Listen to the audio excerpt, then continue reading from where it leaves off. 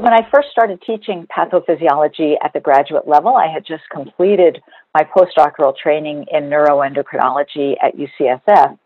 And I came to grips with certain challenges in working with the group of students I had. First of all, there was tremendous variability in student readiness for graduate level sciences. The extent to which students had recall of chemistry, biochemistry, genetics, cell biology was very variable, and the degree to which they had retained many of the undergraduate physiology concepts really was very variable. So I had to come to grips with that.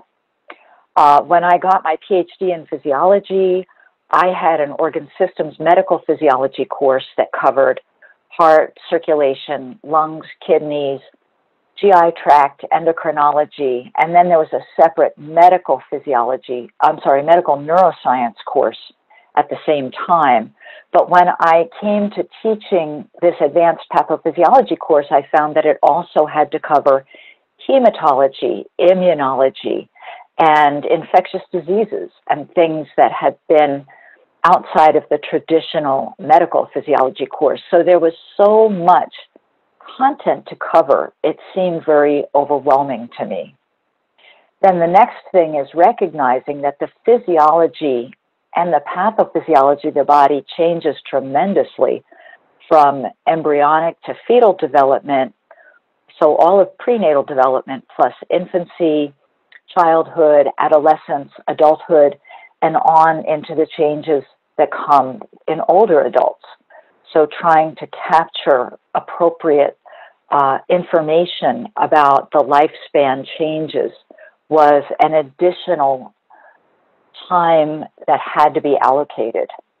And finally, because this course came very early in the curriculum, it was taught concurrently with physical, the advanced physical assessment class, but it was really the prerequisite for the courses on differential diagnosis, on um, management, and on pharmacology.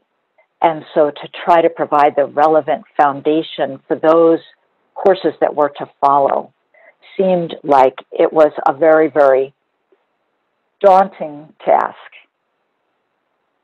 And I was so afraid that my students would look like this that they would be so overwhelmed, not just with the reading for my course, but all of their other courses, as well as juggling life as people who were working, raising families. I thought, I have to follow the precept of a, a mid 20th century architect, Mies van der Rohe, who coined the term less is more.